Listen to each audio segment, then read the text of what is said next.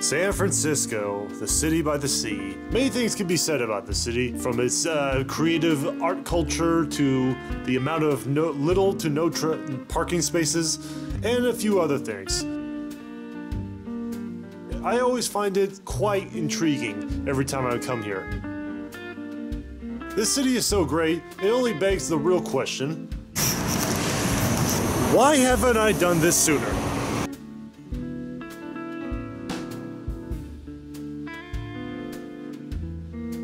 Hey guys, how's it going? This is Magnetrex here. Welcome to a very special edition of Magnetrex Goes To. And today, as you can't tell by my intro, we are in lovely San Francisco. Yes.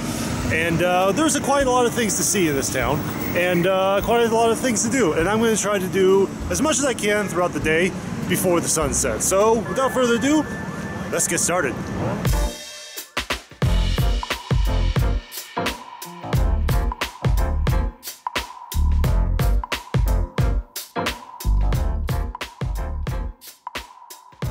You know, one thing I forgot to mention about San Francisco is that when you come to the city, make sure you be prepared. And by that, I do mean wear an extra thick layer jacket. Because for a city that lives literally right by the ocean, it does get really, really windy and really cold out here. Hence the reason I'm wearing two jackets underneath this shirt. And of course, my hair is not exactly perked up today because I really don't want to get all mixed up, messed up with the wind at all.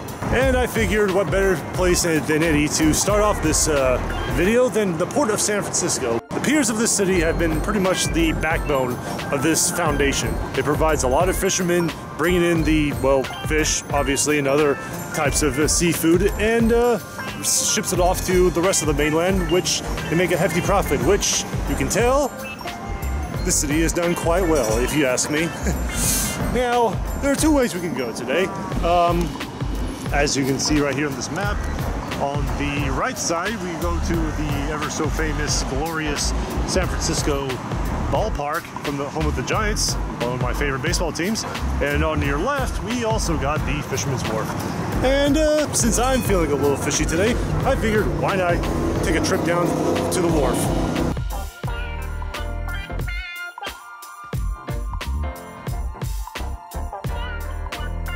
But I guess out of all the piers throughout San Francisco, there's only been one that stands throughout the test of time, and that is Pier 39. God damn it, I screwed that up. Pier 39. Pretty much a very popular tourist spot for a lot of uh, lo both locals and for out of towners. Normally, it gets really busy around the Friday night to weekends.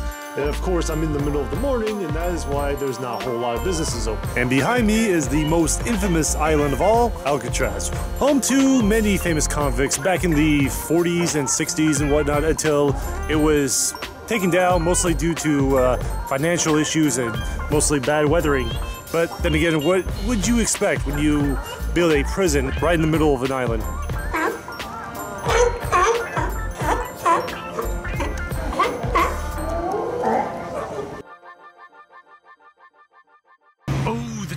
Chowderhead, Chowderhead. I haven't been there in years. I think it was like 10, maybe 11 years to be precise. And they are closed. Sons of bitches. God damn it. And of course, no trip to the Fisherman's Wharf cannot be complete without a delicious clam chowder with bread bowl. Now, I was going to get one of their uh, crab sandwiches or something like that, or one of their custom made uh, seafood sandwiches, but it turns out that those things cost about 15 to $20. No drink, no fries, nothing else, just the sandwich itself for like $15, $20. Wow. Bay Area prices. You just gotta watch out for those for those types of people, man. They will suck those tourists dry of their money real quickly.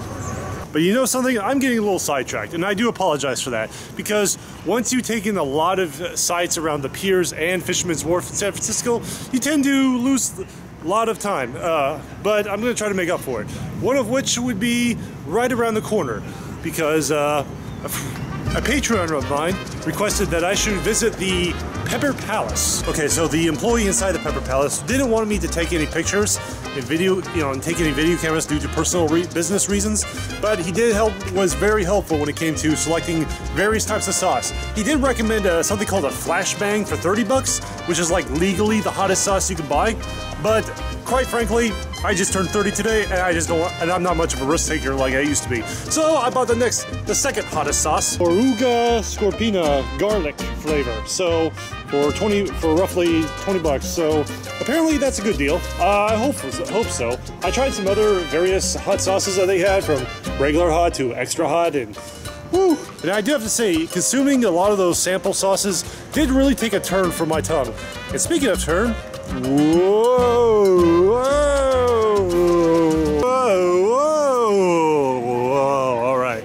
Now, look at that, we are officially on Lombard Street, or I am at least. And I will have to say, after looking over this road, and uh, despite all this talk about how great this crooked road is, it's okay for the most part. I mean, yeah, it's a little crooked, really crooked, but I don't see the point of you actually driving your car actually down here. Oh, hey there, how's it going? But I will have to admit though, you can't argue with that view.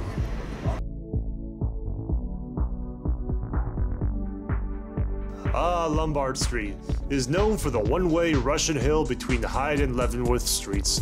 Was built in 1922 and was intended to reduce the hill's natural 27% grade, which was too steep for most vehicles. It is also a hazard to pedestrians who are accustomed to shallow inclines. And I do have to say that I do have to agree about that.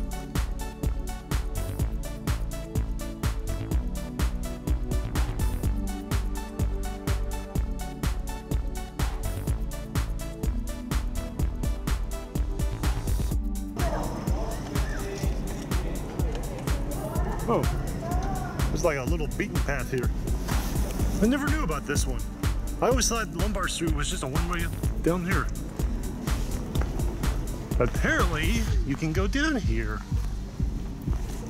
Talk about walking off the beaten path.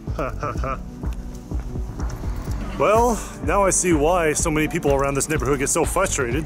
Because if you got so many tourists blocking up the street 24 hours a day, it can drive pretty much everybody crazy around here. And speaking of crazy, let's move on to the next location, which is... Okay, honestly, I was gonna head towards the Golden Gate Park, but instead I kind of went around an unexpected detour, and that is the Palace of Fine Arts. What the fuck? What the fuck?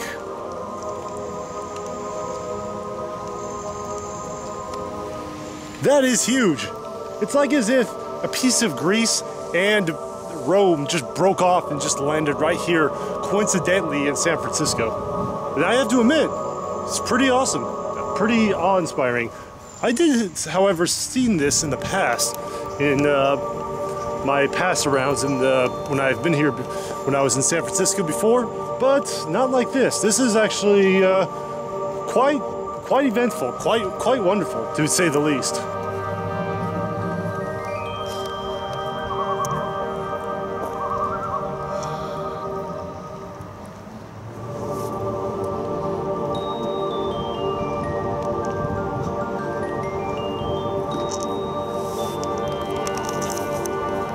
It's like I fell and it was in the center of a temple.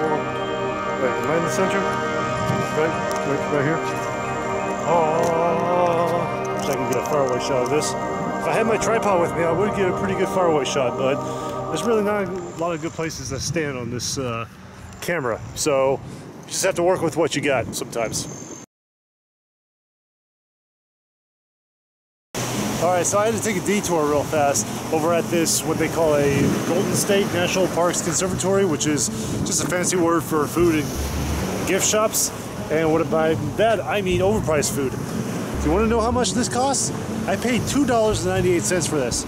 $2.98. Wow. Fucking, I know I could reject it, but then I had, a, then again, I had a long walk and I came all the way from Lombard Street. So, sue me. I'm thirsty. And here we are at the end of our trip, the Golden Gate Bridge, otherwise known as the most iconic monument in all of California. And depending on how physically active you are, it does take about anywhere from 30 minutes to maybe 45 minutes to walk to the to that bridge and back. Mostly because of how extremely long it is, but also how excruciating, but it's also quite breathtaking as well. I would normally show you like a long montage of the bridge part, but since it takes forever to film the entire thing, I might as well just show you bits and pieces of it.